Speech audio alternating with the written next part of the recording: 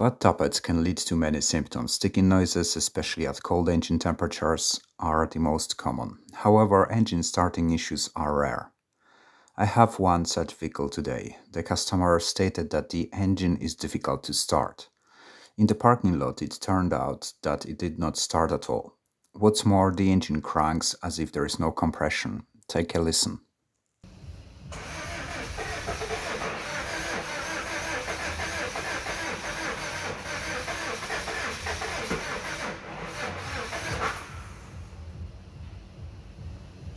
While cranking the engine, I quickly examined the oil pressure to assess relative compression.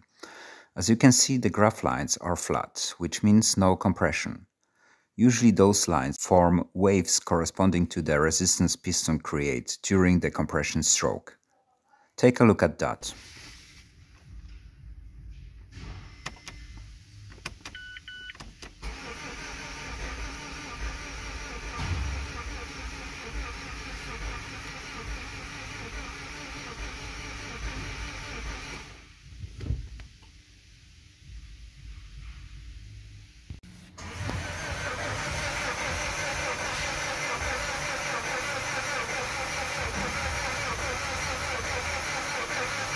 I've connected the battery to a more powerful charger to start the engine, generating over 100 amps to enable faster engine cranking.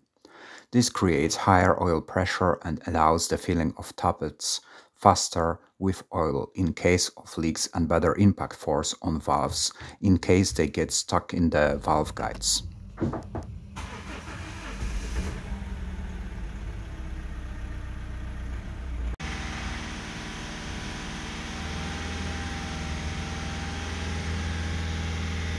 Eventually, after a few attempts, the engine started and ran as expected. When increased RPM, you will hear noises that seem like hammering. You may notice similar abnormal sounds while you drive the car under the loads, but then the noise will be longer and harder. Often, the noise comes unexpectedly and is difficult to reproduce. I have joined five clips with brief noise occurrences so that you can spot and recognize them. Here it is.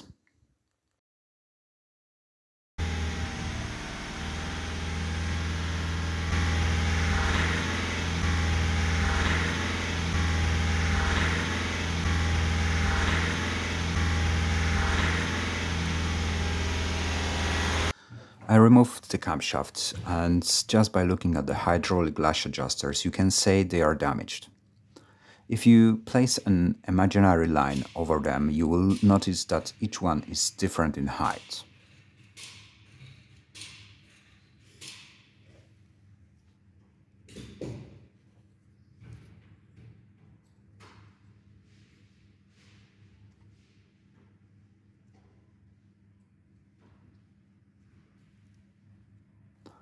Here we can notice damage on the valve stem there is also damage to the camshaft cups and the camshaft itself.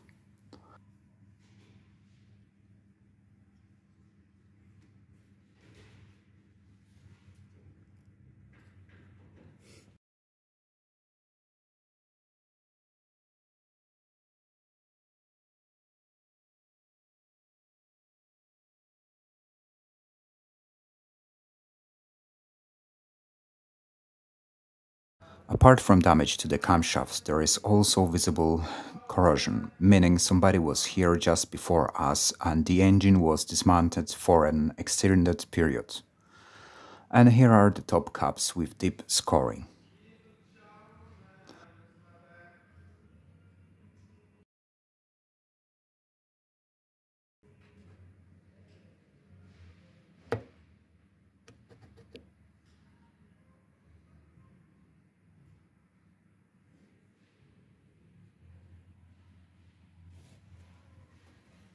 Let's focus on the tappets. After removing the camshaft, those hydraulic lash adjusters should be filled with oil and no rebound filling should be present when pressed.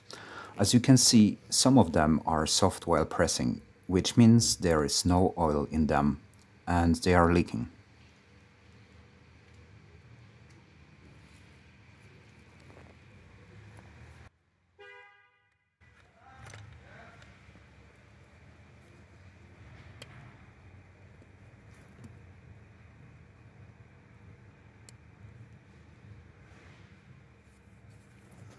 Notice that the biggest mechanical damage is on every second valve stem and hydraulic lash adjuster.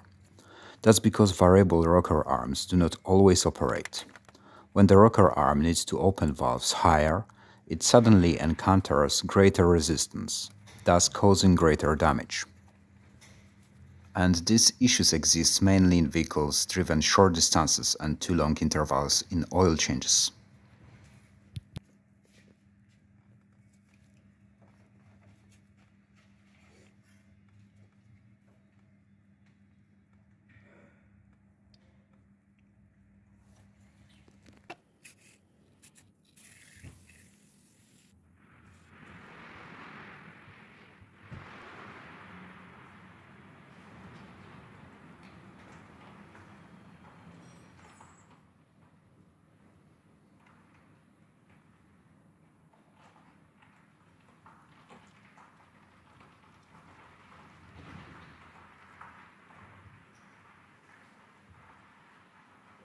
I remove them for closer inspection. This one gets stuck on and looks more extended.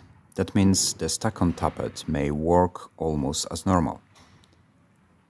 There are similar issues with the remaining tappets, but is it possible for the engine not to start because the hydraulic lash adjusters are damaged? We'll take a look at that in the further part of the video. Those tappets are good examples of what the malfunctioning hydraulic lash adjuster looks like. This is also a clear explanation for those viewers who claim that the tappet shouldn't be bled out while assembling. I also recommend a reference video on checking, cleaning and bleeding out used or new hydraulic lash adjusters, which you will find in the description.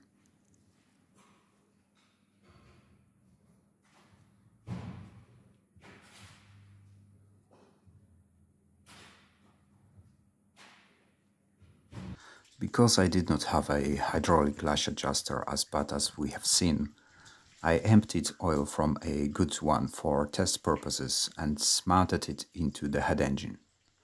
Even though the hydraulic lash adjuster is empty and soft, it will enable the rocker arm to open the valve.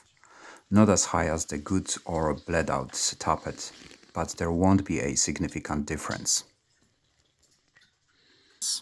We do not need to consider the other exhaust valve because that one is adjustable by the rocker's arm and is irrelevant to our experiment.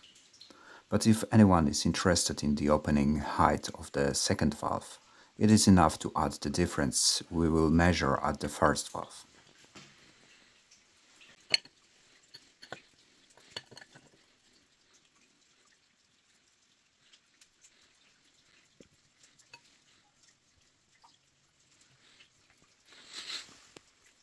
Now that the valve is fully open, I measure the distance from the head engine surface to the valve head. It is 6.25 mm, so I will swap the empty tappet for the good one to compare the differences.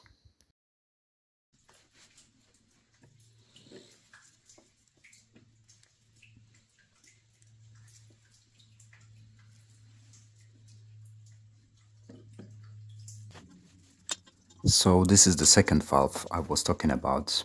Its rocker arm is adjustable by oil pressure, and its height depends on a signal from the PCM powertrain control module. When the soft tappet was mounted here, pressing it by hand and changing its height was impossible, so the engine load factor should have little influence.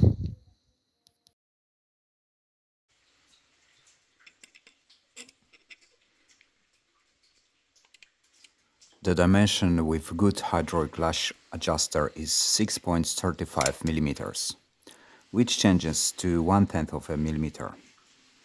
Then what causing the lack of compression or the issue of not starting? Those engines are known for generating soot, and if the soot gathers on the valve stem, the valve gets stuck on the valve guide. It looks more or less like this. When the valve stem is unaffected, it can move freely in the guide. When soot gathers around it, the stem gets stuck in the open position, resulting in a lack of compression.